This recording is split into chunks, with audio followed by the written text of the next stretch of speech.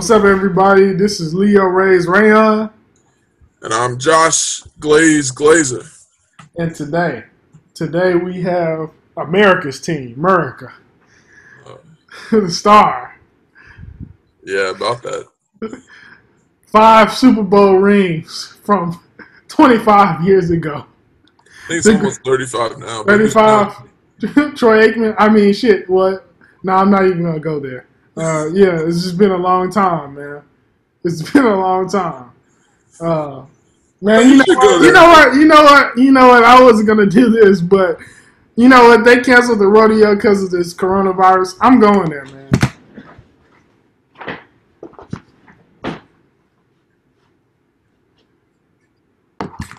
America team. Team America. You feel better? All right, yeah, I had to do that. Okay, all right. All right, anyway, all right, y'all. So we're going into the Cowboys. The Cowboys are the most underachieving team in the past. I mean, they're the most underachieving team, like, in the past 15 years almost. Well, Well, at I don't know. They only started having talent since they started drafting offensive linemen again. But that's a whole different. Yeah, yeah. They should So- be better than they are, but they they choke Man. good teams. Yeah, man. I mean, bro, eight and eight. You know, how did they lose the division? Like they lost, bro. They they lost to the Eagles, and the Eagles had all their receivers hurt. It wasn't lost- the receivers. Every damn player on their team was hurt. That's that's a shame. That- All right, let's mean- stop talking shit about. It. We're supposed to be bringing hope for them. What do I they? mean, I, I mean, that, I- we're relating to the Cowboys fans. Like every Cowboys fan I know that's a real fan would say the same thing. So, not in I'm- public. Oh yeah, oh yes. sir. Oh, I mean, a real Cowboys fan, yeah, they're gonna tell the truth, man. But they still love their team. I mean, that's what makes them America's team. You know, There must be a different kind of Cowboys fan in Texas than there is in the People, the people, people love them, bro. People love Their, them, their rational confidence. Yeah. Well, I mean, but man, all right. So, you know, they lost lost the number one corner, man. Lost Byron Jones. Uh, you know, man. Uh, I mean, they, they, they like I won't, I'm not gonna say they're a bad team. I, we all know that the Cowboys are a good team. I'm not gonna say that they suck. They do not suck. They are a good team. who's I their think- head coach now? It's the big. It's the big change, right? It's uh. Yeah, yeah. Mike McCarthy, personally, I mean, it's probably better than Jason Garrett, but I mean, that's like saying, like, you know, I mean, shit. I'm not even gonna go down that Just road. saying, bang, banging your head against the wall is probably not as good as not doing it. So that's what I they're mean, he's better. not I would say- head against the wall anymore. Yeah, yeah. But you know, now they're walking into the wall. Yeah, Anyway. it's a different. It's a different tech technique. Now they might I be mean- like getting a running start or. I mean, who uh, knows, bro? where Like, metaphor is going. maybe, maybe, maybe. I think he's better than McCarthy. You know what I mean? I mean, I'm my bad. I think he's better than Jason Garrett. Um, you know, they still have they have um, they have a number one receiver, and they have a, a running back, and you know, I mean, Dak. Like Cowboys fans love Dak. You know, I think Dak is a good player. Like, but you know, I mean, that the, truth is about that division. Like, you don't need great necessarily like great, you know, elite quarterback play to necessarily win that division. You know what I mean? Like, they have a good defense. You know, I don't know how you feel about Blake Bell. They did just sign Blake Bell. I mean, he's like a. I guess he's gonna replace Witten. So now they still have. Blake Bell Yeah, I know. I know. from Oklahoma, the guy that tried to play quarterback but couldn't fucking throw a ball. I'm sorry. All right, I shouldn't use that word, but yes. That, all right, come on. I mean, you know what I'm saying. This is, I- this is what the Cowboys are. They have pockets of talent. They don't really have any huge weaknesses, yeah. But they also just don't have. They just have. They pick weird players that, besides Zeke, just aren't a lot of guys that scare you. And they just have this ability to pick the guys that are kind of good and good enough to be like exciting to fans for when they first get them, but as they longer and longer, and they the fans have to commit to these players, Mm-hmm. that they start feeling bad about committing, but they know they have to because it's their team and they have to be irrationally confident about it. I mean, so with that being said, like, what do you see them needing? Like, like what do you? I mean, so so so we both kind of agree that they they can go a multitude of different ways in this draft. I would say because of the the way their team is constructed, right? Like they don't. I, I wouldn't say that they necessarily have some straight up glaring needs. I mean, outside would. of okay, well, what what would you say? There's three. There's only three things I see that they really need in order to Mhm. like improve and to like maximize Dak or keep the defense at a relatively elite level when they don't play good teams. Yeah, That's yeah. their issues. They they're really good when they play bad teams, and they play good teams, and they kind of can't keep it together unless Right. both of their star linebackers and uh, Vander Esch and Smith are, are healthy. yeah, right. True. the key true. to the defense. But so two things that the first thing is uh, they need to obviously address outside corner by losing Byron Jones. I mean, Right. Yeah. they need a man-to-man corner that can tackle, similar to him. It's hard to find those guys. hmm Um, that's number one. It's and you get look at a guy like C.J. Anderson at, at uh 17. The, the one caveat of why they wouldn't um, go corner in the first round would be if a uh, interior pass rusher, just a pass rusher in general, Yeah. dropped to True. them That's exactly that, what that they had. loved. And who knows how they view guys like K'Lavon Chaisson, and some people really like him. Uh, I like him, but I don't think he's a number 17 pick. But the Cowboys have been weird. They drafted guys like Taco before, so um, who hasn't really panned out. Um, but other guys have. Uh, they need D line interior pass rush because they lost uh, Maliek Collins, who it was key to their scheme. They're going to be running a completely different thing now with Mike Nolan. They're going to be blitzing a lot more, playing a lot more man. It's not going to be a lot of just four rush and everyone else cover. So it's going to be much more pressure on the corner. So you're not going to get by with uh, guys that are pretty good, but you're, you're going to find out how good guys like Awuzie and Anthony Brown, who they just signed, Right. and the young and uh, Jourdan Lewis from Michigan, Yeah. how well he can play outside the slot. They're gonna so they kind of it's weird. They have two slot guys in Mhm. Lewis and Anthony Brown, and they kind of have to decide: do we plan on playing one of those guys outside in man to man? Which who knows? Maybe it works. Probably, I mean, it's unproven. Or do we draft another guy that can play out there and throw him out there first, like uh, a C.J. Anderson? I mean, C.J. Henderson from Florida. He has tackling issues. That's his one thing and then Jaylon Johnson we've talked about before from Utah. So we'll see how it goes. It's it's really best player available in terms of D line or corner. I mean, Right, right.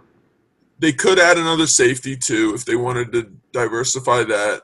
Um, Yeah, that, that's what I had them picking. I, I had them kind of like I know there have been talk about.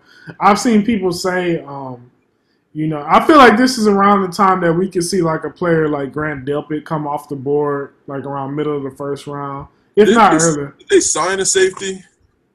I don't, I don't know off top. I don't know off top, but I know that you know Heath is like almost thirty years old, and He's a free agent, I believe. Yeah, yeah. And then Xavier Woods' contract is coming up soon. So I don't know. I mean, I think, you know, just I would say probably the best defensive back on the board is probably gonna be picked up here. I don't know.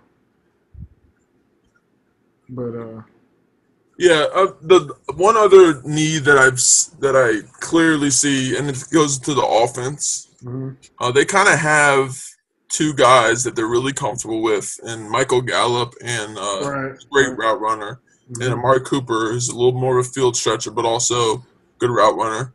The issue with Cooper, and he struggles against really physical man-to-man coverage, or any, pretty Mhm. much any kind of press coverage. Mhm. He's, his numbers aren't great against that.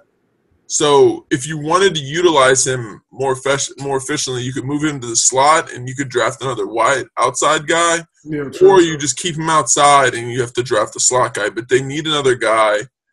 Um, and it would have to be more at probably 51 or 82 because they have Yeah. picked 17, 51, and 82. Mhm. Yeah. Um. So I would target guys like Michael Pittman. Mhm. Uh, we talked about before at a USC, very physical, kind of a guy they don't have right now, a bigger receiver. Uh, Brandon Aiyuk, who's like super explosive, just just doesn't drop anything out of Arizona State. But uh, the po- the polish isn't necessarily there, there, so it would be more predicated on uh, McCar- McCarthy's ability to get him open and stuff. So I don't know if you want to put that pressure on him. And then there's guys like Claypool and Mims later too Right. that maybe you can get. Yeah, yeah. But I mean, with how how far how fast Mim's stock is rising, I mean, who knows how far he'll actually drop into the second round? You know what I mean? So they have a lot of a lot of possibilities and a lot of um, ways that they can improve their team in this draft. And I mean, I think this is that's pretty much the, the best. Like, bro, I think that it's really good that that they, that the Cowboys don't have like a glaring need on like their offensive line or like you know what I mean. So so where they can they can take you know I mean a, a receiver they can take a cornerback they can take you know all these different things to and, and still get better you know what I mean. Now that being said, I mean who knows like I think you know Toronto Toronto I almost said Toronto instead. Uh, Tyron Smith is uh, getting a little bit. He's older, you know. He's about He's been 20 getting hurt a lot too. yeah, I mean Nick uh, Zack Zack Martin is getting hurt too. You know what I mean? Uh, uh, what's his name? The the Travis Frederick just retired. You know what I mean? So although the Cowboys O line is like you know the strength of their team, they And La'el Collins as well. Oh yeah Leo yeah yeah, yeah. Uh, he's been really stepping up as a leader. oh yeah yeah yeah yeah he's been playing really well. He's, So- he's more upper upper trajectory kind of guy. Yeah, right, right, right. So I mean, their line is solid. They can't. I can still see them if there's a lineman that that if there's a really good interior lineman that could step in and play, and they feel really confident about it. I could also see the Cowboys going O line, but I think they're in a good position because they don't necessarily have to do one particular thing. You know? Yeah, the you were you were talking about safety earlier, and I, I they haven't really added anybody. Um, it seems I after one guy that's into it now that's possibly a pick there is a guy Grant Delpit who just ran a uh, a four three nine. He did a virtual pro day, and that was the question about his speed.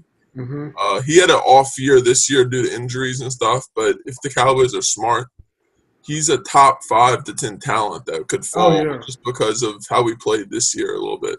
Yeah, yeah. Um, he showed up, he showed up and showed out or later in the year when they got to the playoffs and everything for LSU, but Right. he would be a great look there. Maybe Xavier McKinney in the second. I don't know if he's maybe they value him higher. He's a more of a Swiss Army knife kind of safety. Mhm. So is so is Delpit, but I mean Delpit's probably better in the deep deep half of the field. Uh, it'll be interesting what Mike Nolan's defense looks like now that he's had kind of separation from when he was the head coach over in San Francisco. He's been in New Orleans, and he Mhm. wasn't he was contributing to the game plan there, but he wasn't necessarily the the the main guy. I believe he was working a lot on the third down uh, third down packages for the Saints Yep. if my uh, memory is correct. But um, it'll be really interesting to see where they go. They really that's another four. It's a fourth thing that they so they could really safety slot receiver, really offensive weapon, Mhm. outside corner, and then interior lineman. Just because they needed to continue to replenish that rotation. They Yeah. signed it. Uh, uh, they signed uh, Gerald McCoy, which was a good Oh, pickup, yeah, yeah. a veteran force. But I mean, how much does he have left? How much do you want to rely on a guy with that age? Mhm. uh, it'll be interesting to see how they go. I have them going nine and seven, 10 and six. Mhm. I think there's just uh, another corner that they could look at is Jeff Gladney, because it's they just need to put all their resources into their pass defense. Right. They'll figure out the run defense. They have the linebackers for that. They have the DNs for that. They have enough talent to play the play the run, but it needs to be the emphasis and it's basically all pass because then on the offense they need to work on their pass game as well. So hopefully They're hoping Mike McCarthy will breathe some fresh air into their all pass game. hmm 9 7, 10 and 6. What do you say? Man, I'm gonna say I'm gonna say ten and 6, 11 and five. I'm gonna say that this is the year that the Cowboys can, you know, actually play up to their potential and and uh, you know win because I feel like they kind of have to now. Uh, so yeah, I, I I think they'll win the division. I hope they do, and um, you know, I'm looking for a new team. So maybe you know they're right up the street. So maybe uh maybe I'll become uh, Don't maybe you I'll, do that. No. Maybe maybe I'll join We- we will- Skip this Bayless. podcast will not exist if you turn into a damn Cowboys fan after already jumping ship on the damn Lakers. You become a Laker Cowboy. Dude, that's a joke. That's a joke, bro. I, okay. Bro, yeah, man. I'm, I'm, I don't know, man. That's a whole in podcast. Transition. a- We'll get into that later. Yeah, That's bro. you're in transition. NBA. people are people are just my teams have been letting me down for so long that I I, I I've been through too much, man. I've been through too much heartache, and I think it's it's time that I I deserve a winner, bro. I deserve. Not saying I'm gonna just bandwagon, but what I'm saying is, can we at least try to do the right thing? So yeah, man. Um, Isn't that a Spike Lee movie? do the right thing. Yeah, Yeah. yeah.